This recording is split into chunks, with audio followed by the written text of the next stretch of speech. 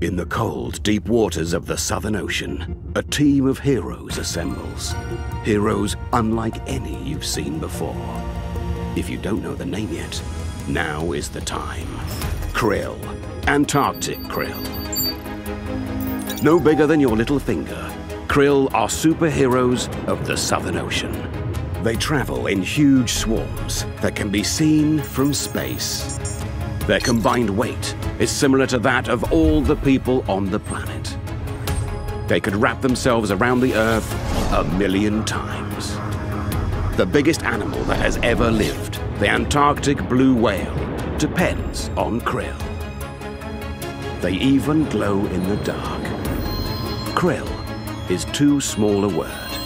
They are guardians of the underwater galaxy. Marvel at their superpowers. Krill feed the undersea world.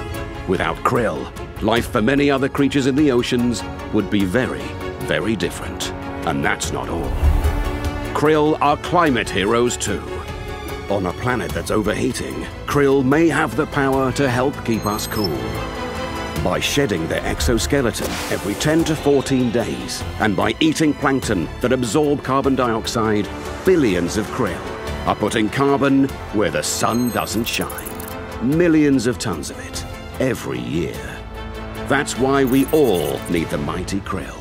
Now, more than ever. But even superheroes can be vulnerable. The climate crisis is Krill's most fiendish enemy.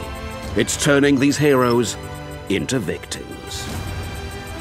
Krill need cold water. Unfortunately, the way we have changed the Earth's climate means the oceans are heating, and the ice, which protects krill nurseries, is melting. And when krill are in danger, so is the web of life they support, and the whole climate of our planet. But it's a danger we can all help to fight. Even superheroes need assistance sometimes fighting the climate change crisis, working with nature, not against it, can help these superheroes of the Southern Ocean. There's so much we could learn from nature. Little things can make a huge difference. There's power in numbers. Heroes come in all shapes and sizes.